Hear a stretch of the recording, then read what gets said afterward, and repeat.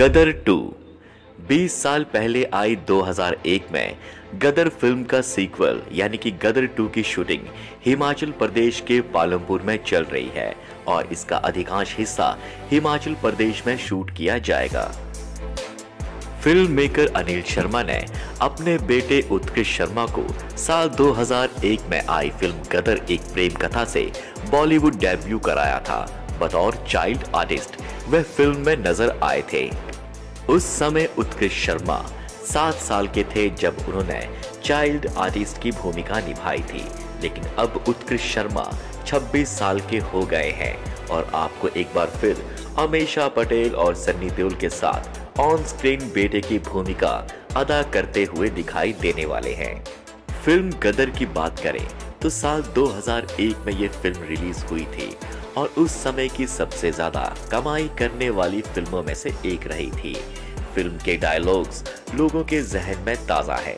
साथ ही सन्नी देओल द्वारा हेडपंप उखाड़ने वाले सीन को भला कौन भूल सकता है? लेकिन अगर देखा जाए तो गदर एक अलग जमाने की फ़िल्म थी।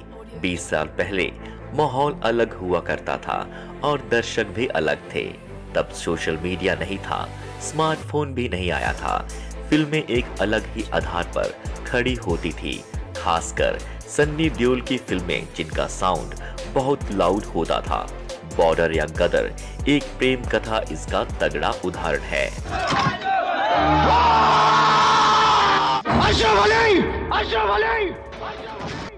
उस जमाने की फ़िल्मों में ज़बरदस्ती चीखना चिल्लाना हुआ करता था लेकिन आज की फ़िल्मों में चीखना चिल्लाना कम हुआ है। डिजिटल युग ने दर्शक और उनकी पसंद में भी बदलाव किया है। वेब सीरीज़ इसका बहुत बड़ा उदाहरण है।